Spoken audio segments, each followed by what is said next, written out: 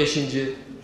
Yalan söylüyor dediğim için benim mahkeme... AK Parti'nin 2023'e doğru şehir buluşmaları Manisa programına katılan AK Parti Genel Başkan Yardımcısı Mehmet Özhaseki ve Enerji ve Tabi Kaynaklar Bakanı Fatih Dönmez önemli açıklamalarda bulundu. Özhaseki İstanbul'da yaşanan terör saldırısıyla ilgili bu coğrafya zayıf devlet kaldırmaz. Bu coğrafyada güçlü olmak zorundasınız dedi. İki tane çok ciddi dezavantajımız var. Birisi depremsellik, ikincisi de genellikle dışarıdan tahrikli terör örgütleri mümbit bir arazide bulunduklarını biliyorlar ve öyle çalışıyorlar. Düşünün bir PKK terör örgütü, bir FETÖ terör örgütü, DHKPC gibi aşırı sol örgütler, bu ülkeye kötülük etmek isteyen ne kadar örgüt varsa 50-60 yıldır bu ülkede boy gösteriyorlar. Ortak özellikleri şu, dışarıdan destekleniyorlar ve amaçları da tek. Bu ülke büyümesin istiyorlar, güçlü olmasını istiyorlar, bölünsün istiyorlar, parçalansın istiyorlar. Onun için de her yolu deniyorlar. 50 yıldır bunlarla devlet aklıyla mücadele ediyoruz. Allah'a şükür AK Parti hükümetleri öyle bir mücadele ortaya koydu ki artık bunların nefesleri kesildi ve tükendiler. Ülke içi temizlendi ve bittiler. Güvenlik sağlanmış vaziyette.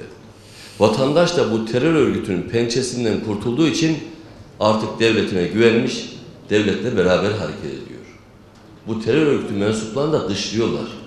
Ve bunlar inlerine sığınmak zorunda kaldılar. Ancak bu arada yine sadece bireysel olarak can yakıcı olaylarla bizim canımızı sıkmak istiyorlar. Başka bir şeye güçleri yetmez. Bu coğrafya zayıf devlet kaldırmaz. Bu coğrafyada güçlü olmak bir mecburiyettir. Avrupa'nın ortasında keyif yapan ülkeler gibi değiliz biz. O yüzden de bütün gücümüzle çalışıyoruz, gayret ediyoruz. Başta CHP olmak üzere muhalefeti de eleştiren Özhaseki şunları söyledi. Recep Tayyip Erdoğan gitsin de ne olursa olsun. AK Parti gitsin ne olursa olsun. Şimdi düşünsenize yedili masa bir araya geliyor. Ya bunlar sokakta görseler birbirlerine selam vermezler. Emin olun vermezler. Dünya görüşleri aynı değil ki. Hiçbirisi daha hanımını yanına alıp da diğerine çay içmeye gitmemiştir bunların. Olaylara bakışları da aynı değil. Fakat motivasyon kaynakları Recep Tayyip Erdoğan gitsin de ne olursa olsun olunca hep bir araya gelmeye çalışıyorlar. Yıkım ekibi gibi. Ya ne yapacaksınız siz gelince kardeşim? Bir cümle söyleyin ya. Sosyal olaylara bakışınız nedir? Ekonomik meselelere bakışınız nedir? Savunma sanayi hususunda ne düşünüyorsunuz? Sonra bakanlık dağılımı başlayacak. HDP'yi nereye vermeyi düşünüyorsunuz HDP'ye?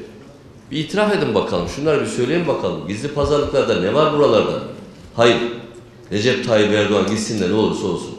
İkinci, bunların stratejisi de yalana ve algıya dayalı bir operasyon. Düşünün ki bir genel başkan olarak adam çıkmış, 11 sene olmuş. Her hafta bir veya iki tane yalan söylüyor. Hiçbirini ispatlayamadı. Yüzlerce yalan. Allah seçmenlerine yardım etsin. Muharrem İnce bile ayrılırken diyor ki 8 kere tam bu CHP genel merkezi işgal altında bunların işi gücü yalan, iftira. Biz doğru bildiğimiz yolda devam edeceğiz. Eser siyasetine devam edeceğiz. Hizmet etmeye devam edeceğiz.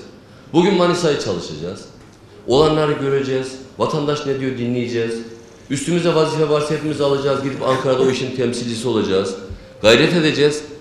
Neticesinde de inşallah hayır olacak. İnanıyoruz ki